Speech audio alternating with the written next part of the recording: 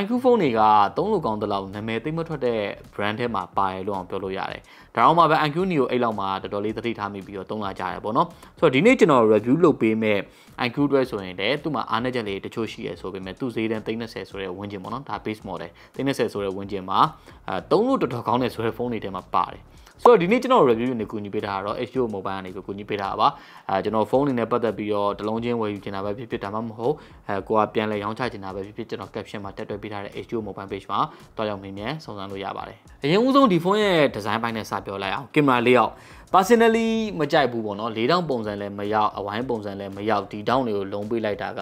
ဟိုမရောက်ဒီမရောက်ပုံစံဖြစ်သွားတယ်အ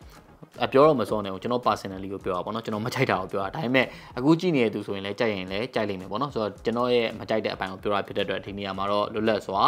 ကွဲလွဲနိုင်တယ်တကယ်တမ်းလည်းဒီဇိုင်းဘက်မှာအဲ့နေရာလေးကိုပဲ personally မကြိုက်တာကလွဲရင်ဖုန်းကတော်တော်လေးကန်လို့ကောင်းတယ်အပေါင်းစင်းလို့တော့ဒီဘောက်စီဖြစ်တယ်ပေါ့နော်တော်တော်လေး၄တောင်ဆန်တယ်အဲကန်ရတာအဆင်ပြေပါမလားလို့စိတ်ထဲမှာထင်ခဲ့ပေမဲ့တကယ်တမ်းကျွန်တော် ဟိုတုံးတယ်တုံးတယ်ဆိုတာကာဗာအောင်တက်ပြီးတုံးတယ်သူ့ရဲ့ original ဒီပါလာတဲ့ဆီလီကွန်ကာဗာအောင်တက်ပြီးတုံးတယ်အဲ့လိုမျိုးတုံးတဲ့နေရာမှာတစ်ခါတလေဒီလိုမျိုး100တက်တုံးလို့ရတဲ့ဟာလေးအောင်ရှိသေးတယ်ပေါ့နော်နောက်ဒီနေ့ထွက်လာတဲ့ flagship phone တော်တော်များများရဲ့အလေးချိန်က220 gram လောက်ရှိနေတဲ့အချိန်မှာသူက200 gram လောက်ဆိုတာကလည်း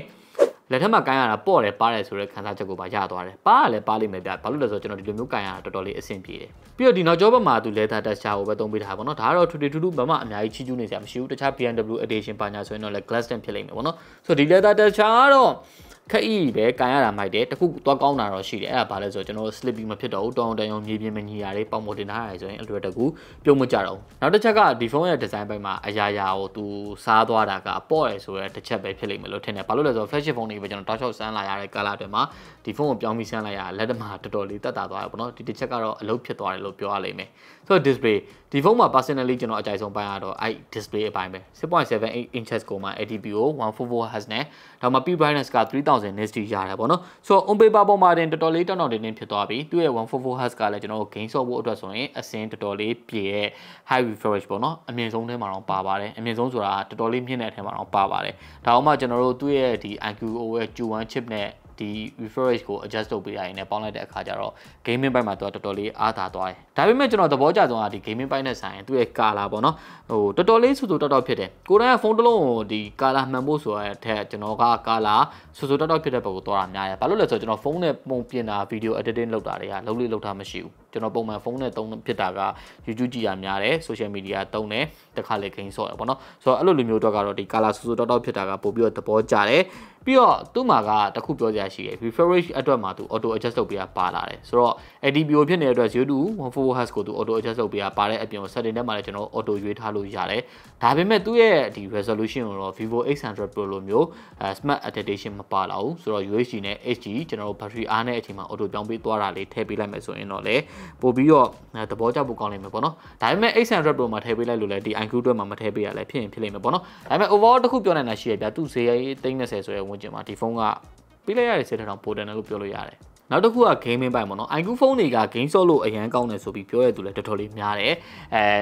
game ဆော့မယ်ဆိုတဲ့သူတွေကဒီဖုန်းကိုဝယ်တာလည်းတတိထားမိရပေါ့နော်ဆိုတော့ဒီဖုန်းရဲ့ performance ကိုကျွန်တော်ကြည့်မယ်ဆိုရင် Snapdragon 8 Gen 3လိုမျိုး chip သုံးပေးလာတယ် computing အတွက်ကိုပဲကျွန်တော်ခုနကပြောတဲ့ iQ Q1 chip လိုမျိုးထည့်ပေးထားတာတွေ cooling အတွက်ဆိုရင်ဒါ 6K vapor ချိန်ပါပေါ့နော် 6K ဆိုတာ 6000 mm square vapor ချိန်မှာထည့်ပေးထားတာတွေကတကယ်ရောအလုပ်ဖြစ်ရလား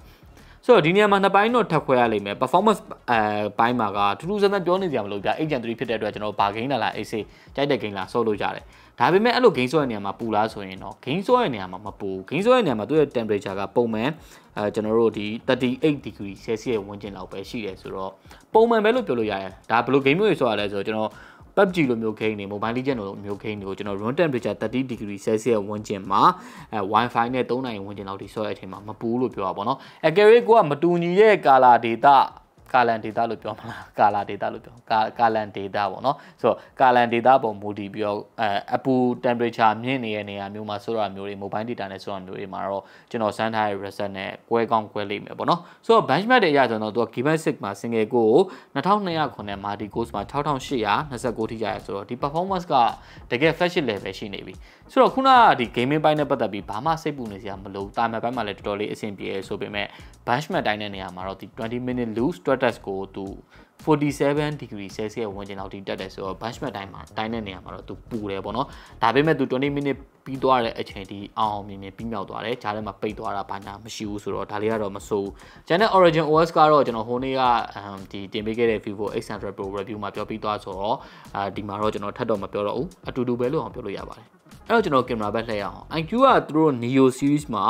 ဒီ price to performance ကိုတွားတယ်ဒါပေမဲ့ဒီ main series မှာကျတော့သူတို့ flagship level ကိုသွားချင်တယ်ပေါ့နော်ကျွန်တော်ထင်တာတော့ flagship killer ဆိုတာ flagship level ကိုတက်ချင်ပြီလို့ထင်တယ်။ဘာကြောင့်လဲဆိုတော့ကင်မရာပိုင်းတွေမှာဒီနေ့တော်တော်လေး upgrade လုပ်လာတယ်။အဲ IQ 11တော့ကျွန်တော်တို့ဒီ tele sensor ကို 47mm 2x optic ကနေပြီးတော့ဒီနေ့ 70mm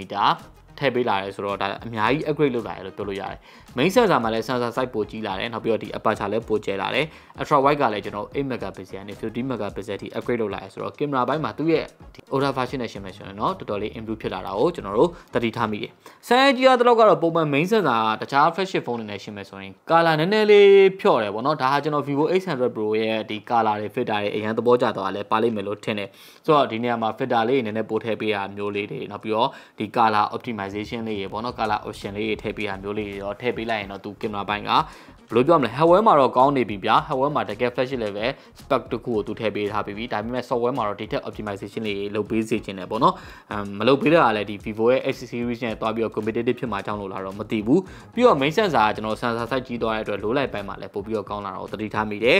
ပြီးတော့ portrait တွေမှာဆိုရင်လည်းသူက 70mm portrait ကတော်တော်လေးကောင်းတယ်ပေါ့နော် HD detection လေးအရန်တက်ရက်လာတယ် အဲကျွန်တော်တို့ပုံမှန်ဒီ 3H 2H နဲ့ရိုက်တဲ့ portrait တွေကတော့ဘာမှပြောနေစရာမလိုတဲ့ level တစ်ခုကိုရောက်လာပြီပေါ့နော်နောက်ပြီးတော့ဒီ tele sensor ကိုပဲကျွန်တော်တို့ဒီ super momo ဘာညာလိုမျိုး AI features တွေကလည်းပါလာသေးတယ်ဆိုတော့သူစီတဲ့ဝေးချိန်မှာကျွန်တော်ကတော့အကောင်းဆုံးလို့တော့မပြောချင်ဘူးဒါပေမဲ့အဲမနစ်က IQ 11နဲ့ရှင်းမယ်ဆိုရင်တော့တော်တော်လေးတိုးတက်လာတယ်ဆိုတော့ကျွန်တော်သတိထားမိတယ်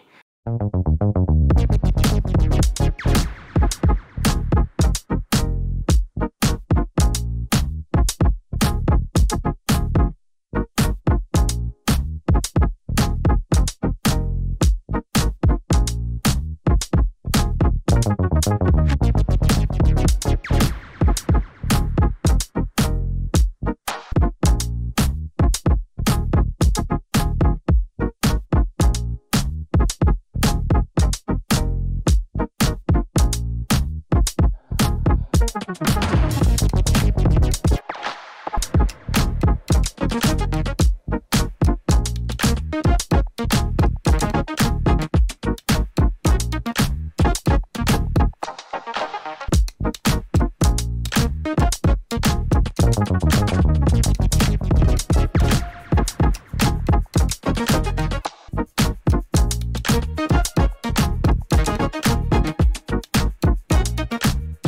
ဆိုတော့ဒီဖုန်းမှာအញ្ញံဆုံးအပိုင်းကိုပြောပါဆိုရင်တော့ haptic ကိုကျွန်တော်ပြောရလိမ့်မယ်ပေါ့နော်